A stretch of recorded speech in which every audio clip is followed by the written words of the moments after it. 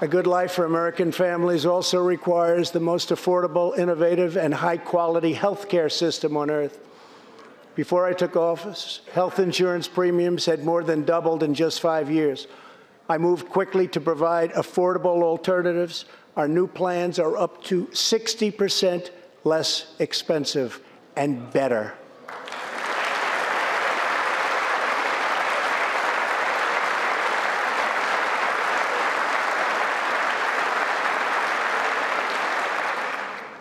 I've also made an ironclad pledge to American families. We will always protect patients with pre existing conditions.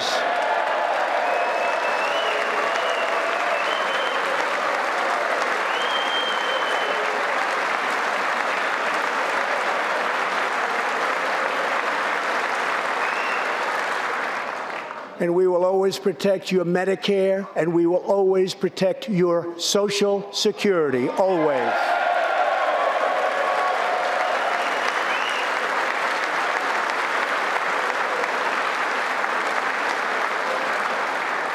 The American patient should never be blindsided by medical bills. That is why I signed an executive order requiring price transparency.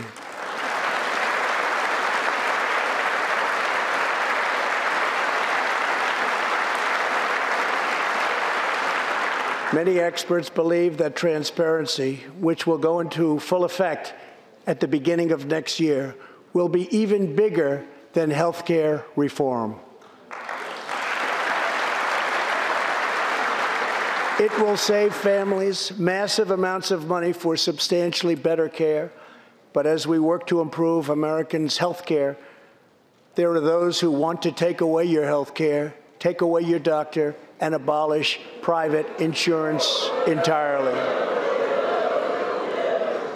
132 lawmakers in this room have endorsed legislation to impose a socialist takeover of our health care system, wiping out the private health insurance plans of 180 million very happy Americans. To those watching at home tonight, I want you to know we will never let socialism destroy American health care.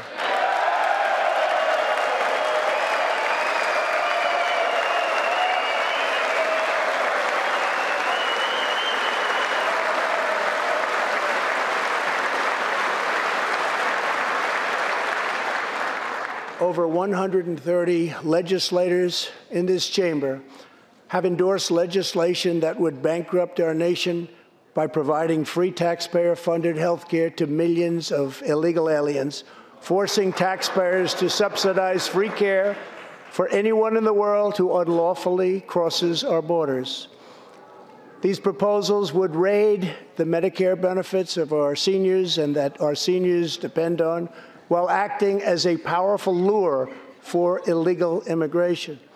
That is what is happening in California and other states. Their systems are totally out of control, costing taxpayers vast and unaffordable amounts of money.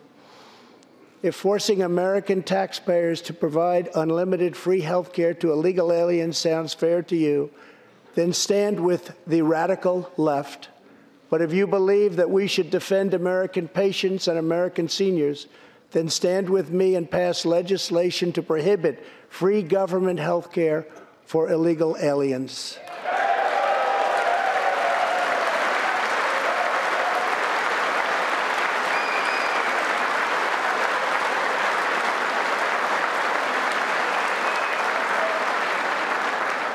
This will be a tremendous boon to our already very strongly guarded southern border where, as we speak, a long, tall, and very powerful wall is being built.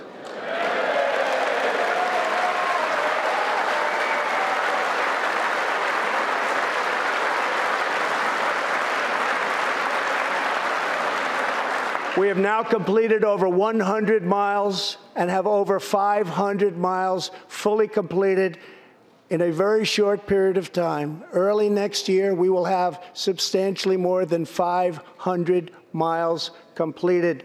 My administration is also taking on the big pharmaceutical companies. We have approved a record number of affordable generic drugs and medicines are being approved by the FDA at a faster clip than ever before.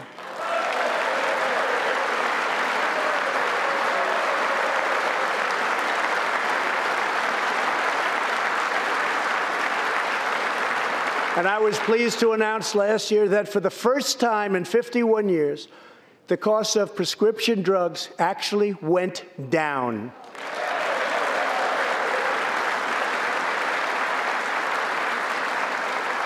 and working together, Congress can reduce drug prices substantially from current levels. I've been speaking to Senator Chuck Grassley of Iowa and others in Congress in order to get something on drug pricing done and done quickly and properly. I'm calling for bipartisan legislation that achieves the goal of dramatically lowering prescription drug prices. Get a bill on my desk and I will sign it into law immediately.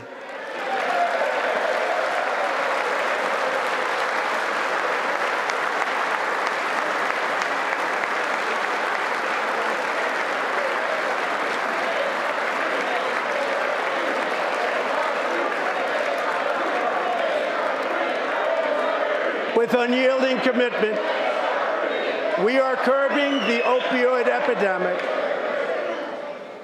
Drug overdose deaths declined for the first time in nearly 30 years.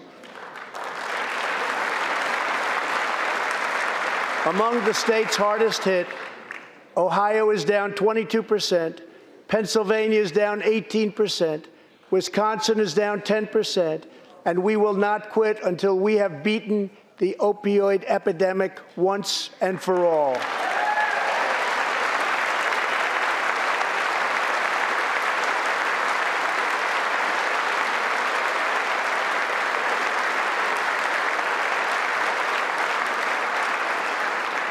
Protecting Americans' health also means fighting infectious diseases. We are coordinating with the Chinese government and working closely together on the coronavirus outbreak in China. My administration will take all necessary steps to safeguard our citizens from this threat. We have launched ambitious new initiatives to substantially improve care for Americans with kidney disease, Alzheimer's, and those struggling with mental health and because Congress was so good as to fund my request, new cures for childhood cancer, and we will eradicate the AIDS epidemic in America by the end of this decade.